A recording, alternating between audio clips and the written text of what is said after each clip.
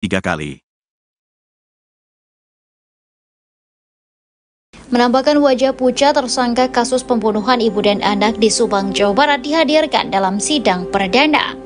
Sidang perdana itu digelar pada hari ini, Kamis 28 Maret 2024. Agenda pertama dalam sidang ini adalah pembacaan dakwaan oleh Jaksa Penuntut Umum atau JPU terhadap terdakwa Yosef Hidayah.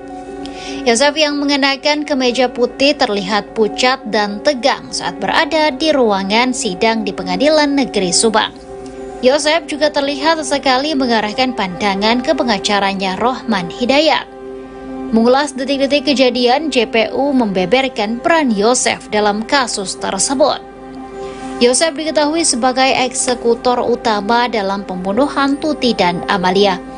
Diketahui juga Yoseplah yang pertama kali membacok sang istri di rumahnya. Kejadian ini bermula karena Yosep kesal tak diberi uang. Tuti dan Yosep pun terlibat cekcok. Yosep yang kesal akhirnya membacok sang istri hingga korban tersungkur di sofa. Tak cuma dengan golok, Yosep disinyalir juga akan menghantam Tuti menggunakan stick golf miliknya.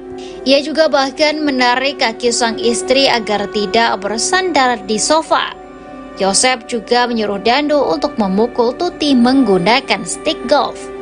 Selain Danu, Arigi juga berperan dalam pembunuhan Tuti.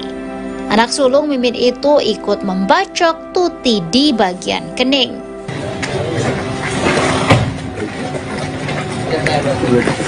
Tanya dulu.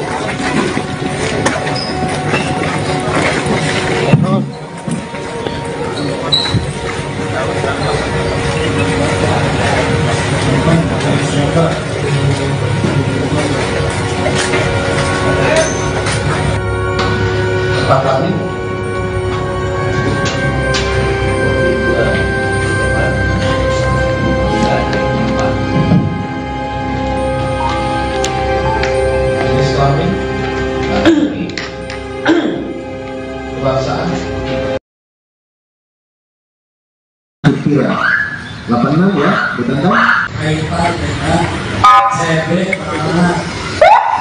Jadi Dan ini tahanan Yosef sudah masuk ke kejaksaan ke pengadilan negeri Subang. Sidang perdana kasus Subang hari ini digelar hari ini, berdasarkan reportase Tribun Jabar. Sosok mengenakan rompi merah dipadu peci putih turun dari mobil milik Kejaksaan Negeri Subang.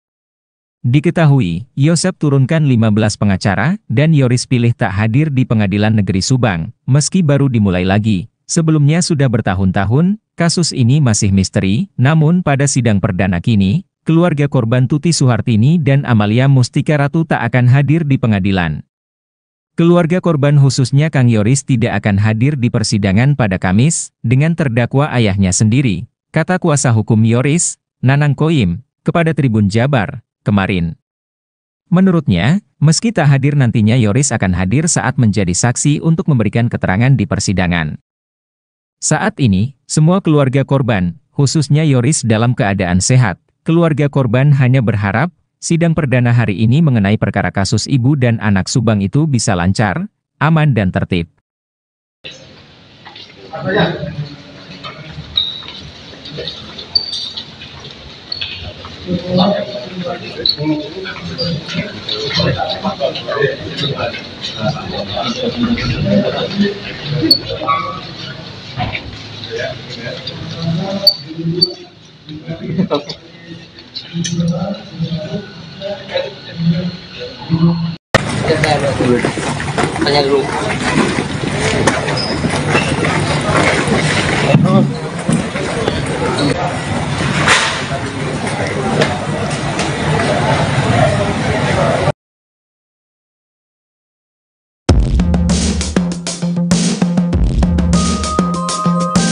Kondisi terdakwa Yosef Hidayah pada sidang perdana kasus pembunuhan ibu dan anak di Subang jadi sorotan.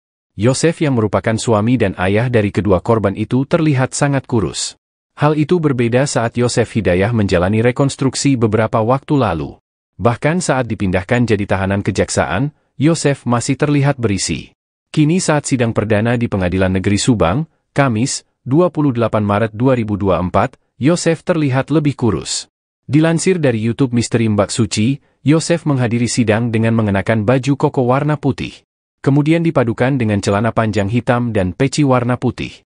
Yosef didakwa sebagai otak dari pembunuhan Tuti Suhartini dan Amalia Mustika Ratu.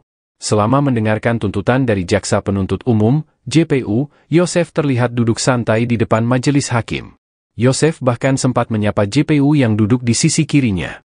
Saat JPU membacakan tuntutan, Yosef duduk dengan tenang dan semakin lama menunduk. Setelah JPU selesai membacakan tuntutan, majelis hakim kemudian bertanya pada Yosef apakah menerima tuntutan tersebut.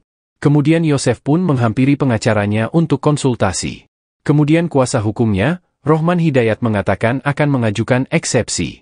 Lalu majelis hakim meminta perwakilan tim untuk maju ke depan. Sementara itu, Yosef terlihat santai duduk di kursi persidangan. Ia bahkan menyapa JPU yang menuntutnya. Yosef Hidayah juga bahkan menghampiri JPU dan menyalaminya. Setelah itu Yosef kembali duduk dan melihat-lihat ke sekeliling ruang sidang. Yosef juga menengok ke belakang di mana para YouTuber dan awak media menyaksikan sidang. Ia tersenyum ke arah kamera dan mengangkat tangan kanannya. Yosef Hidayah kemudian kembali melirik ke arah belakang dan memberikan kode. Ia mengangkat kedua tangannya setinggi mata sambil mengepalkan jari-jarinya. Setelah itu ia kembali duduk santai, dan tersenyum ke arah kuasa hukumnya. Kuasa hukum Yosef, Rohman Hidayat mengatakan akan mengajukan keberatan. Kemudian Rohman juga merespons kondisi Yosef yang kini terlihat semakin kurus. Rohman juga mengatakan kalau Yosef menghadiri sidang dalam posisi sedang puasa Ramadan.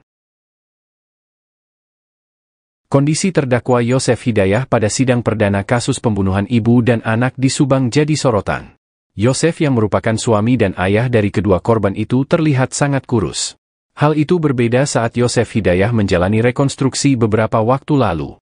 Bahkan saat dipindahkan jadi tahanan kejaksaan, Yosef masih terlihat berisi.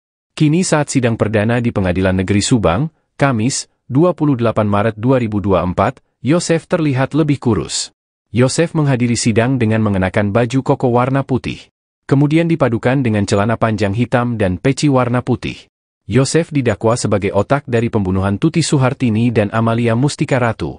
Selama mendengarkan tuntutan dari Jaksa Penuntut Umum, JPU, Yosef terlihat duduk santai di depan majelis hakim. Yosef bahkan sempat menyapa JPU yang duduk di sisi kirinya. Saat JPU membacakan tuntutan, Yosef duduk dengan tenang dan semakin lama menunduk. Setelah JPU selesai membacakan tuntutan, majelis hakim kemudian bertanya pada Yosef apakah menerima tuntutan tersebut. Kemudian Yosef pun menghampiri pengacaranya untuk konsultasi. Lalu majelis hakim meminta perwakilan tim untuk maju ke depan. Sementara itu, Yosef terlihat santai duduk di kursi persidangan. Ia bahkan menyapa JPU yang menuntutnya. Yosef Hidayah juga bahkan menghampiri JPU dan menyalaminya. Setelah itu Yosef kembali duduk dan melihat-lihat ke sekeliling ruang sidang. Yosef juga menengok ke belakang di mana para YouTuber dan awak media menyaksikan sidang.